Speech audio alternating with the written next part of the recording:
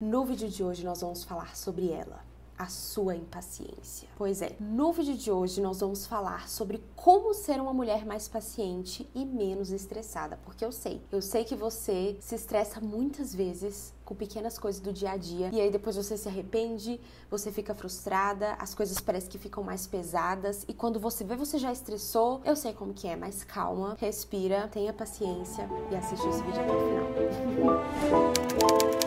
Oi, gente!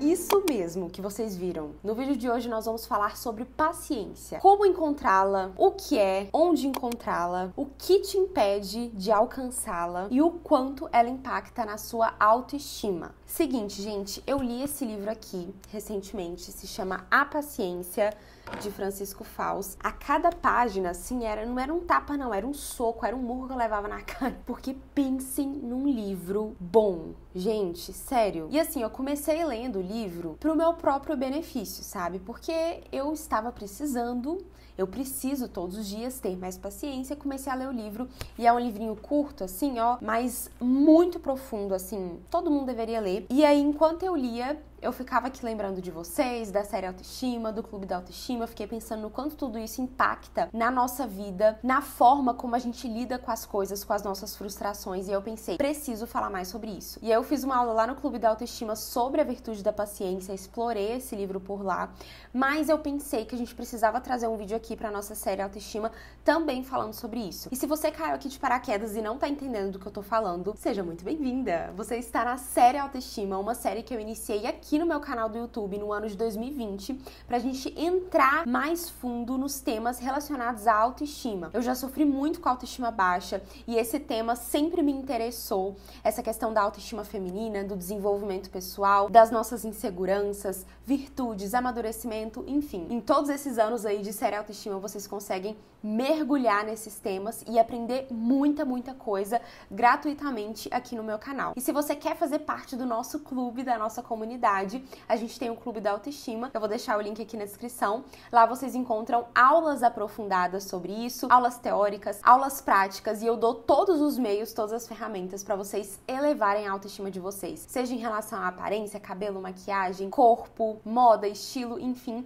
quanto outras coisas mais profundas também em relação a virtudes, autoconhecimento, inseguranças, enfim, o clube é um baú repleto de tesouros. Então seja bem-vinda, fica à vontade e aproveita. Então a série Autoestima é uma pitadinha, né? Vocês conseguem sentir um gostinho do que é o clube da autoestima. E nesse episódio de hoje aqui da série a gente vai falar sobre paciência. Tenha santa paciência, né, gente? É isso que fala aqui nesse livro, que a gente costuma dizer isso justamente quando a gente acabou de perder a paciência. Eu vou comentar alguns pontos que me chamaram a atenção e no final eu vou dar algumas dicas práticas para você se tornar uma mulher mais paciente no seu dia a dia. Porque eu sei, a gente se estressa, a gente acaba ficando irritada, fica naquela pessoa assim, aquela mulher rígida que tá sempre com pavio curto, sempre pronta para estressar. E não é isso que eu quero pra gente. Então, vou começar falando sobre uma analogia, um exemplo que eu vi aqui e que mexeu muito comigo, me, me deixou muito intrigada em vários momentos do meu dia, quando eu vou ficar estressada, ou depois que eu já fiquei, ou quando eu tô incomodada, quando alguma coisa não acontece como eu gostaria, eu me lembro desse exemplo, dessa analogia, que é o seguinte: aqui tá escrito assim, o estojo do mundo. O leitor há de concordar comigo em que uma das coisas mais belas do mundo é um bom estojo. Calma que você vai entender.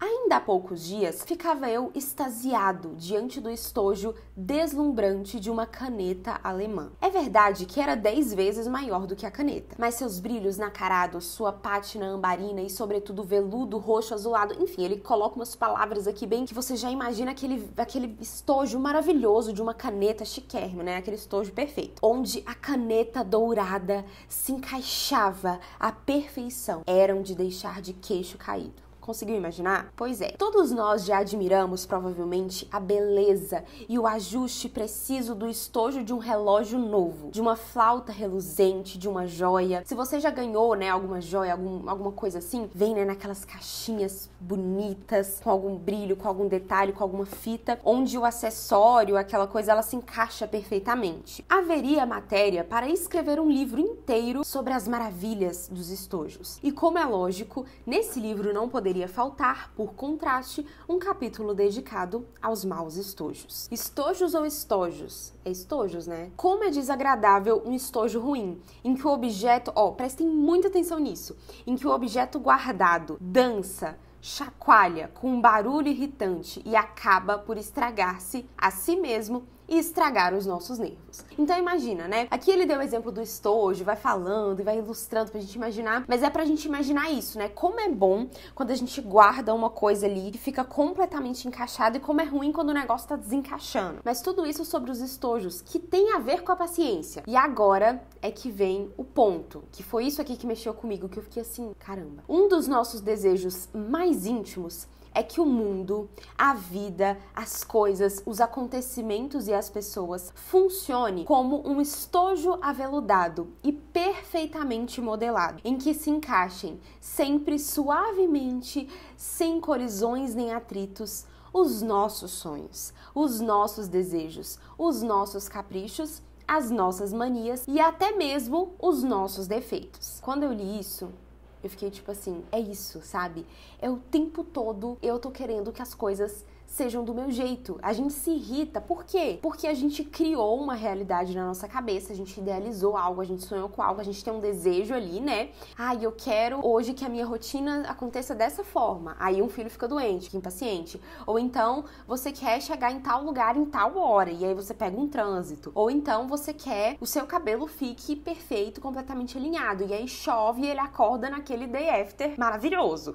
Então assim, o tempo todo a gente tá se frustrando porque porque simplesmente porque as coisas não estão de acordo com a nossa vontade, com os nossos gostos, com os nossos caprichos. Ah, se tudo na vida fosse assim. Pro meu mau humor, o estojo de cetim da compreensão dos outros. Para minha doença, o estojo de seda de um serviço público com a aparelhagem funcionando e sem filas. Pro meu trabalho, o estojo de chefes que me louvem e subordinados que em tudo me obedeçam. E lá em casa, o veludo amabilíssimo dos filhos dóceis dóceis e agradecidos, sempre prontos a sussurrar com um sorriso carinhoso: Mamãe e papai têm razão. E de um marido ou uma mulher que, sem pensarem em problemas e cansaços pessoais, só saibam dizer com um olhar mais terno: Meu bem, que gostaria de fazer hoje? Que fantástico um mundo estojo assim. Aí o autor continua falando: é melhor nem pensar nele, porque depois, ao abrirmos os olhos à realidade, ficaríamos machucados. Interessante, né? Essa analogia. Se você parar para pensar agora, provavelmente provavelmente boa parte das suas impaciências estão relacionadas a isso, pelas suas frustrações, porque você gostaria que as coisas fossem de um jeito e elas não são. Você gostaria que as pessoas falassem com você de um jeito, fizessem as coisas para você de um jeito e não fizeram, não falaram. Enfim, então tudo gira em torno dessa nossa frustração e desse nosso desejo de que as coisas se adequem perfeitamente, se encaixem perfeitamente como um estojo perfeito. E é preciso que a gente reconheça a toda hora que o estojo do mundo falha, machuca, não abre, não fecha e se desajusta ou se desengonça. Colhe essa realidade. Quando eu li isso, eu falei, é isso, sabe? Sabe aquela frase assim de é só a vida acontecendo? Que quando diante de alguma coisa que acontece, sei lá, um copo quebrou, um filho ficou doente, é, um trabalho que atrasou, um imprevisto, alguma coisa assim, quando alguma coisa dá errado e a gente pensa, ai meu Deus, né? Nossa, as coisas estão tudo dando errado. E a gente depois pensa, né? Vem aquele pensamento, é só a vida acontecendo. Talvez vocês já ouviram essa frase, até eu já falei isso. Da gente sempre lembrar disso, né? Que é só a vida acontecendo. Às vezes, diante de, de pequenas coisas do dia a dia, a gente acha que tem enormes problemas acontecendo. E nos últimos dias, eu não sei ao certo quando esse vídeo vai ao ar, mas nos últimos dias, né, nessa semana que eu tô gravando esse vídeo, é justamente na semana assim que tá tendo que aconteceu, que começou, né, a tragédia no Rio Grande do Sul. Na verdade, começou na semana passada, enfim, mas agora a gente tá num, num estado assim mais crítico e eu fiquei observando, vendo tudo de fora e eu tava refletindo justamente sobre isso, que quantos e quantos problemas que eu enfrento no meu dia a dia que me causam impaciência, nem são problemas reais, sabe? Diante dessa situação, dessa tragédia de tantas famílias que perderam vidas, que perderam tudo, que perderam casa, enfim, diante de tudo isso, eu vejo que boa parte dos meus problemas que me deixam impaciente nem são problemas reais, sabe? O problema, na verdade, sou eu que fico querendo esse estojo perfeito, que fico querendo que tudo se adeque às minhas vontades, aos meus desejos. E olha só que interessante, daí o autor segue narrando o dia de uma família comum, pai, mãe, filhos e tal, e vai narrando o dia por uma ótica pessimista, por uma ótica impaciente, sempre falando assim de, de problemas que vão acontecendo. Então, acorda atrasado, vai fazer o café, derruba alguma coisa, aí no rádio toca uma música ruim, aí o pai chega no trabalho acontece algum problema, o carro estraga, tipo, sabe? Ele vai narrando uma série de coisinhas que vão acontecendo e aí o autor fala que a gente poderia sim pintar este quadro, contar a realidade dessa forma, mas a verdade é que é uma realidade falsa, sabe? A impaciência faz com que a gente enxergue uma realidade falsa, uma realidade só negativa, só pessimista. Porque ele diz que se a gente for reparar, sim, tiveram muitas contrariedades no nosso dia, no dia de todo mundo, um monte de problemas, é, coisinhas que vão acontecendo, insatisfações, mas em contrapartida, muitas são as graças que a gente recebe, as coisas boas, muitos são os motivos para agradecer. E diante dessa tragédia, como eu falei de tudo que aconteceu, a todo instante, a todo momento, eu penso assim: meu Deus, sabe? Eu tenho tanto a agradecer, eu tenho tanto a não ficar impaciente, sabe? Eu tenho tantos motivos só para agradecer e não ficar impaciente que eu percebo que o problema da impaciência, a culpa da impaciência é justamente esse nosso egoísmo, essa nossa falta de amor. E aqui entra o ponto ápice assim do vídeo que né, que é sobre essa questão da paciência, que é o amor. A impaciência brota de uma falta de amor. E em contrapartida, a paciência ela brota do amor. Então, a impaciência em si mesma, na sua essência mais íntima, consiste em não saber sofrer. Ana, então o que é a virtude da paciência? A gente fala tanto sobre isso, né? Ah, eu preciso ser mais paciente, preciso ser mais paciente. O que é a paciência? A paciência é a virtude de quem sabe sofrer. E isso está completamente ligado ao amor. O amor é sacrifício, o amor é a gente saber sofrer. Então a virtude da paciência é isso, é a capacidade de padecer dignamente, a arte de sofrer bem. E é importante dizer que a impaciência não é somente você irritar, gritar, ficar assim estressada, sabe? Não é so, somente isso. A impaciência se dá mesmo que não se faça acompanhar de nenhuma emoção ou explosão. Ela se dá quando não sabemos aceitar ou aceitamos de má vontade aquilo que nos contraria ou nos faz sofrer. Então a impaciência, ela é rica em apresentações. Ela pode se manifestar no nosso interior ou no nosso exterior, de maneiras muito variadas e com muita frequência. Ela pode se aflorar em forma de queixas internas, quando a gente fica se lamentando no nosso íntimo, se fazendo de vítima o tempo todo, reclamando, só vendo o lado negativo de tudo, ou de reclamações ásperas e lamurientas com os outros de forma mais rude, né? É, ou de cobranças insistentes insistentes com os outros, de suspiro, de ficar suspirando, lamentando, ou ficar desabafando, né? Desabafando e reclamando, não aguento mais, cheguei ao, cheguei ao limite. Enfim, tudo isso é fruto de uma impaciência. Então ele dá vários exemplos. Porque às vezes a gente tá sendo impaciente, mas não necessariamente a gente tá explosiva, sabe? Aqui fala, também são frutos da impaciência os comentários de desânimo, os olhares de tristeza. É importante saber que um dos principais efeitos da paciência é expulsar a tristeza do coração. Aqui o autor até fala, né, a diferença da ira. Porque a ira, ele diz que é uma irmã siamesa da impaciência. Mas a pessoa irada não tem mais autodomínio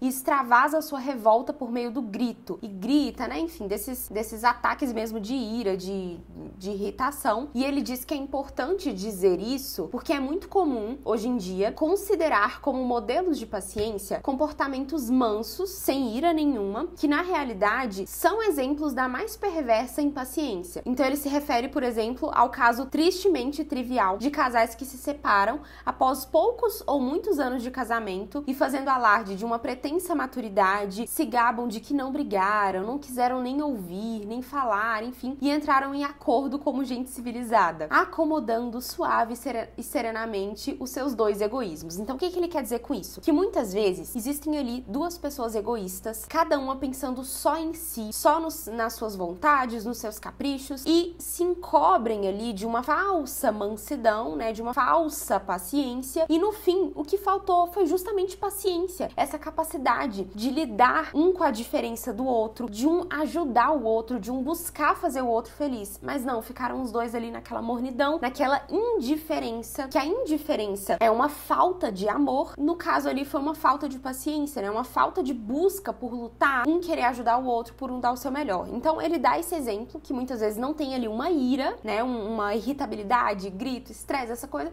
essas coisas, mas foi uma impaciência. Então ele só dá esses exemplos pra gente não se confundir. Tá bom, Ana, entendi, mas vamos pra prática. Na prática, temos aqui oito dicas, coisas práticas para vocês fazerem na sua na rotina, para vocês exercitarem aí no dia a dia de vocês para lutar contra a impaciência. Número um, fazer o esforço de escutar pacientemente a todos, pelo menos durante um tempo prudencial, sem deixar que se apague o sorriso nos lábios. Então, sabe quando a pessoa tá ali contando alguma coisa para você, você tá ali ouvindo e ele até escreve aqui, é, não permitir que os olhos adquiram aquela inexpressiva fixidez. Sabe quando você fica tipo assim, sabe? Ou aquele prelúdio de bocejo, de um peixe. Você vai ficando ali assim. Não, eu sei que talvez por dentro você tá ali, né? Nossa, impaciente, mas gente, é justamente isso. A gente só vai ser paciente com situações que provem a nossa paciência. Se a gente tá sendo paciente quando tudo tá tranquilo, quando não tem ninguém nos irritando, na mais perfeita paz, aí qualquer pessoa é paciente, né? Isso não é paciência, isso é simplesmente corresponder ao ambiente. A paciência, ela é justamente para esses momentos. É nesses momentos que a gente vê o tamanho do nosso amor ou do nosso egoísmo. E eu vejo diariamente o quanto eu preciso melhorar, o quanto eu ainda sou egoísta, quando ainda só penso em mim, enfim. Dica número 2: não andar comentando a toda hora e com todos, sem razão plausível nem necessidade, as nossas gripes, as nossas dores de cabeça ou de fígado ou qualquer tipo de mal-estar pessoal. Não reclamar da saúde, do calor, do frio, do abafamento do ônibus, do tempo que a gente tá sem comer nada. Difícil, né? Mas é possível. E é isso que vai nos fazendo crescer. 3. Renunciar decididamente a utilizar os verbetes típicos do dicionário da impaciência. Você sempre faz isso. De novo, já é a terceira vez que você faz isso. Mais uma vez, eu já tô cansada. Sabe? Essas coisas que a gente fica assim, ah, ah essas frases, o nunca, sempre, eu não aguento mais. 4. Evitar cobranças insistentes e antipáticas e prontificar a ajudar os outros. Isso é uma coisa que eu vejo assim que é muito necessário no casamento. Gente, em quantos momentos eu tenho que me segurar para não ser aquela mulher chata, sabe? Aquela esposa chata que fica o tempo todo cobrando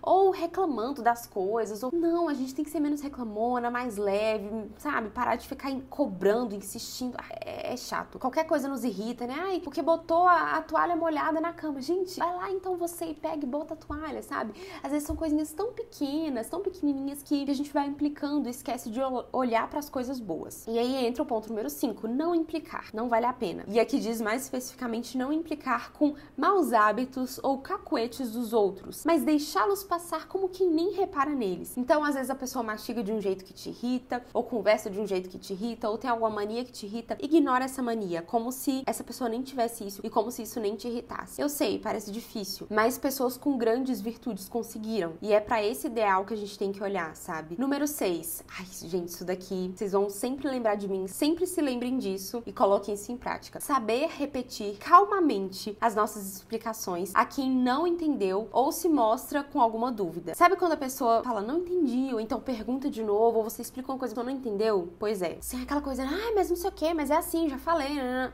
7. Aqui fala sobre o trânsito, né? Não buzinar quando alguém reduz a marcha do veículo, estaciona inopinadamente. Aqui até fala, dá um conselho pra gente nunca olhar para quem tá dirigindo. Então, você tá no trânsito, algum carro fez alguma coisa que te estressou, que te irritou. Não olha pra pessoa que tá dirigindo. Porque às vezes você vai olhar e falar: "Ah, mas esse homem também, ah, mas essa mulher, ah, mas tinha que ser, né?". Não olha. Isso vai até te ajudar a ficar menos impaciente, porque você vai estar tá olhando só para um carro. É um veículo, é uma coisa, não é uma pessoa.